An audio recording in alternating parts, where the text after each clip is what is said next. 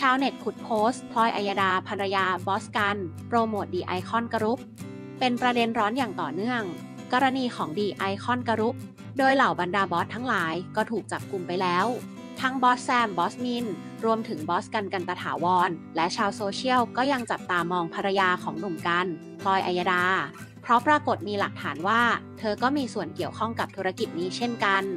โดยย้อนกลับไปเมื่อปี 2564 พบว่าเธอเคยลงใน Facebook ถึงการเปิดคอร์สออนไลน์ สอนให้เป็นพ่อค้าแม่ค้าอาชีพ สร้างรายได้หลากหลายล้าน ต่อยอดธุรกิจยุคโควิด ค่าเรียนเพียง 98 บาทเท่านั้น จากปกติ 4,900 บาท เรียนทั้งหมด 3 วัน 3 วิชา จับมือทำตั้งแต่เบสิกพื้นฐาน สอนโดยอาจารย์ตัวท็อประดับประเทศ รวมถึงอีกโค้สคอร์สเรียนยิง ad บวกสร้างเพจ 6 วัน 6 วิชา ค่าเรียน 98 บาท จากปกติ 4,900 บาท และยังมีอีกโพสต์ที่พลอยได้เปิดสมัครตัวแทนขายของออนไลน์ดีไอคอนทั้งมีสต็อกและไม่สต็อก ทั้งในและต่างประเทศ โดยใช้คำว่ารับสมัครตัวแทนสายตรงทีมแม่แฮชแท็กทีมแม่พลอยพันล้าน